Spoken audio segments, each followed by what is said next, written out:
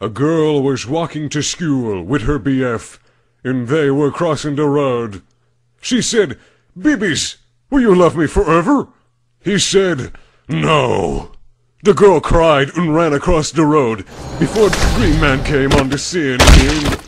Boy was crying and went to pick up her body. She was dead.